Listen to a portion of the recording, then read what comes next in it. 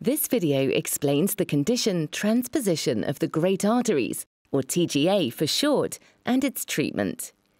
You may find it helpful to look at our video of the normal heart before watching this video. In the normal circulation, blood that is low in oxygen returns from the body in veins to the right side of the heart, where it is pumped from the right ventricle to the lungs through the pulmonary artery. Blood picks up oxygen in the lungs and returns to the heart, where it is pumped from the left ventricle to the body through the aorta the aorta and pulmonary artery are together referred to as the great arteries. Shortly after the aorta leaves the heart, it gives off two branches, the coronary arteries, that supply the heart itself with blood. In transposition of the great arteries, the aorta and pulmonary artery are connected to the heart the wrong way round. This means that blood returning from the body that is low in oxygen is pumped out of the right ventricle to the aorta and so back around the body.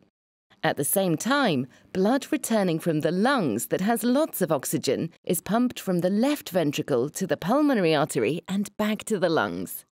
The consequence of transposition of the great arteries is that oxygen cannot be delivered to the body, and unless treated quickly, the baby is unlikely to survive. The immediate priority is to ensure that at least some oxygenated blood can get to the body. When a baby is born, there is a natural hole called a patent foramen ovale between the two collecting chambers of the heart, the right atrium and the left atrium. Often, this hole is not wide enough, so a procedure called a balloon atrial septostomy is performed a tube is inserted through a vein in the groin into the right atrium and across into the left atrium. Once in the left atrium, a balloon is inflated and pulled back into the right atrium.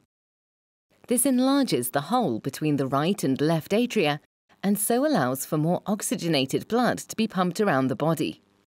By improving the delivery of blood to the body, this procedure buys some time until a corrective operation can be performed. Although not illustrated here, oxygenated blood can also pass between the aorta and pulmonary artery through a small connection between the two arteries called the ductus arteriosus. The ductus arteriosus is open when a baby is in the womb, but usually closes shortly after birth.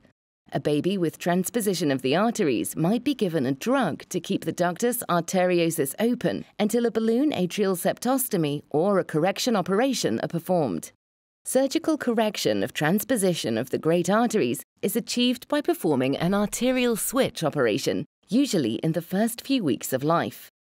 After opening the chest through the middle of the breastbone, the coronary arteries are detached from the aorta, and both the aorta and pulmonary artery are cut just above where they leave the heart. Each artery is moved and reconnected to the correct side of the heart the aorta to the left ventricle and the pulmonary artery to the right ventricle. The coronary arteries are then reconnected to the aorta in its new position. The arterial switch operation therefore results in a normal circulation, with oxygenated blood being pumped from the left ventricle to the body via the aorta, and blood that is low in oxygen being pumped from the right ventricle to the lungs via the pulmonary artery. Lifelong follow-up is required after the arterial switch operation. In most patients, it is likely that no further operations or procedures will be required, but in some patients, complications occur that require further treatment, either in childhood or in adulthood.